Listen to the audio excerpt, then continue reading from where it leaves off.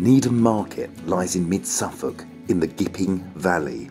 It is a stunning place to take in the Suffolk countryside along the River Gipping or Needham Lake, which provides leisure facilities and a wildlife habitat.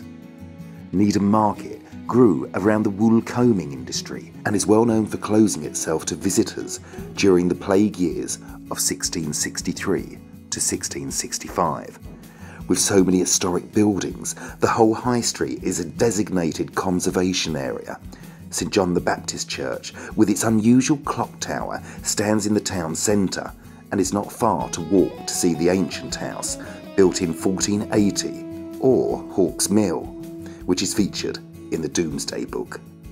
The Victorian railway station was designed in 1849 and today offers good railway links into the town. There are several well known pubs, including the Limes Hotel and the Swan Inn.